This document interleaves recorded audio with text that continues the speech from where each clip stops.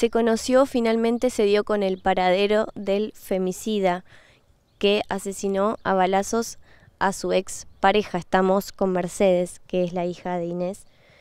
Y bueno, nos contó un poco la situación por la que está atravesando y lo que está viviendo durante estos días y también eh, la tarde de ayer cuando, bueno, finalmente tuviste la tranquilidad, como bien me decías vos, de que te hayan eh, mostrado el, cuerpo de este hombre que, que, tan mal le hizo durante tanto tiempo a tu familia, ¿no?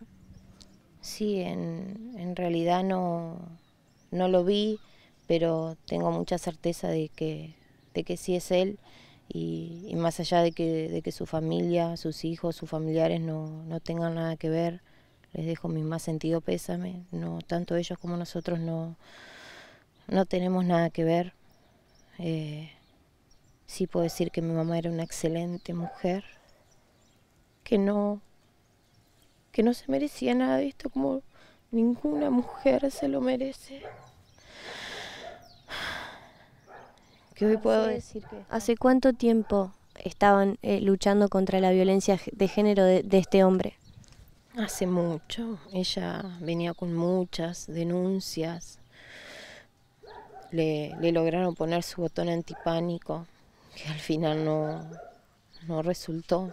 Sí lo usó, yo no sé si en una o en dos oportunidades, pero justo esta no, no le dio tiempo, no alcanzó. Pero ya venía hace muchísimo, mucho, mucho, mucho tiempo ya esto. ¿Tu mamá qué te decía, tenía miedo que, que cuando ella esté sola él venga, que tenía una restricción y que, y que ella tenía mucho miedo que llegue ese día y que, que él aparezca, que le haga algo. Un día antes tuvo la, la cara de mirarla a los ojos a mamá a un par de cuadras de acá de la casa de ella y, y decirle, hola Inés, ¿cómo estás? para que al otro día haga todo esto.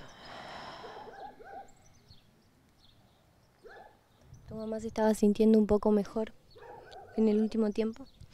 Estaba muy, muy feliz mi mamá, muy feliz. Estaba viviendo cosas nuevas, estaba dándose otra oportunidad, rehaciendo su vida. Ella era una mujer que le, le gustaba muchísimo bailar. Siempre que podía salía a bailar, escuchaba mucho chamamé, le encantaba los chamamé. Siempre con una alegría, siempre apoyándome en todo. Una excelente modista, excelente modista. ¿Qué le dirías a la justicia, a los jueces, en un momento así, Merce? Que me hubiese gustado que esto no haya pasado.